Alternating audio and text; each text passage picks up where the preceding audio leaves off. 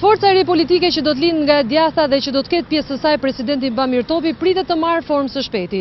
Siç e shikoni, kjo është godina, dy katet e fundit të së cilës duket se do të jenë ambientet ku do të marrë formë partia e re e Bamir Topit. Zyra që ndodhet pas kësaj dritare e që ka përballë selinë e Partisë Demokratike dhe parlamentin, Do të ulë brenda saj kryetarin e partisë më të re në vend.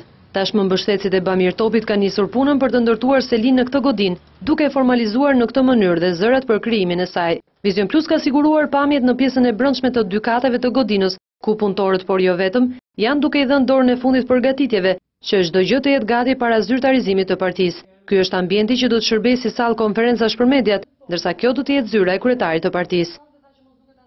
Shumë zyra e salla do të jenë në dispozicion të mbështetësve të kësaj partie, të cilët pas krijimit do të kenë qëllim mbledhjen e anëtarësisë dhe zgjedhjen e strukturave drejtuese të saj. Siç mësohet, themeluesit e forcës politike e kanë zgjidhur ngritjen e selisë me pronarët e ndërtesës, por mbështetësit e Topit refuzojnë të japin detaje mbi emrin që do të ketë partia, logon dhe datën e shpalljes së saj pas regjistrimit në gjykatë. Ajo që dihet është se vetë presidenti Bamir Topi mund të jetë aktiv vetëm pas mbarimit të mandatit në krye të shtetit. Emrat më të spikatur deri më tani në parti janë ish-deputetët e Partisë Demokratike Gazmend Oketa dhe Aleksandër Biberaj.